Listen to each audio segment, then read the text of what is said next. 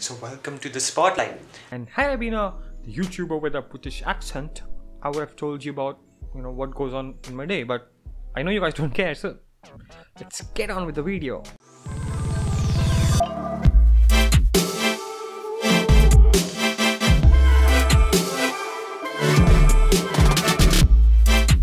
Well, so you have this everyday pen and you need to find its center of gravity. Like, how generic of a problem is that? Ugh. Now, how do you solve this problem now? Now, if you watch a certain small YouTube channel, you know, he has like 10 subscribers, you know how to solve this. What you do is balance this pen on both of your index fingers and then try to bring them closer.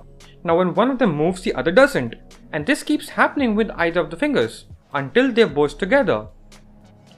And at that point, the pencil is balanced or the pen is balanced. Now if you try to balance that pen on that exact point, it is going to balance and that is its CG or center of gravity. Now if you already knew how to do this, let me explain how does it work and why does it work. reason behind this basically revolves around friction. Now the thing to know here is that there are two types of friction, dynamic friction and static friction. Static friction, according to its name, acts on bodies which are not moving on two surfaces which are in contact with each other and are stationary. And dynamic friction according to its name acts on uh, two surfaces which are moving relative to each other. Now something else to consider here is that static friction is always greater than dynamic friction. It is because of well the irregularity of surfaces. Um, they get locked when two surfaces aren't in motion and therefore the friction in general is more now friction has two factors. One is called the frictional coefficient which is denoted by the Greek letter mu and the other is reactionary force or the force which is actually acting between the two surfaces that is perpendicular to both of them. Now let's get to understanding how I did this magic trick. Well it's not magic actually. Let's set the stage. I have this pen and it's kept on my two fingers. Now both the fingers are experiencing some amount of weight from the pen. It's not the entire weight of the pen, but it's some amount of it. Now, as you guys guessed it, one finger is experiencing more force than the other, right? Because, well, for one, this pen isn't balanced. That's the point.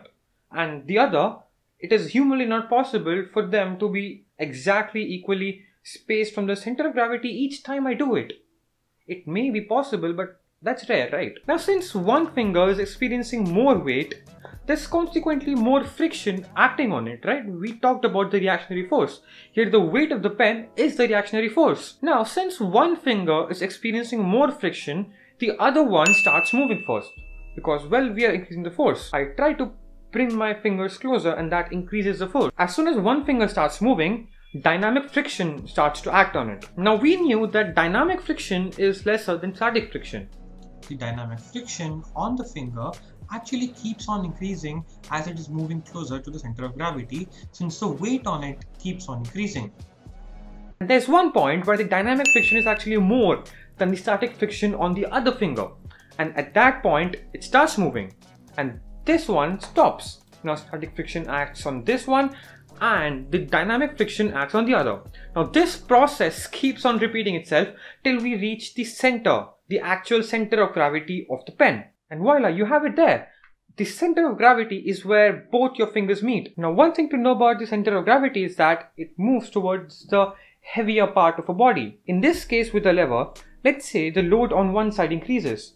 Now considering that load on the other side remains constant, we need to move the fulcrum towards the heavier load for the lever to stay balanced over it, right? So the finger on the heavier side experiences more friction and consequently moves less. And in turn, the center of gravity moves towards it. So guys, that's the whole video. I know these are like not too much work, but still, you know, I'm lazy and I've, I kind of have a lot of going on. So yeah. Thanks for watching. I'm not going to say that cliche line. Um, like, share, and subscribe.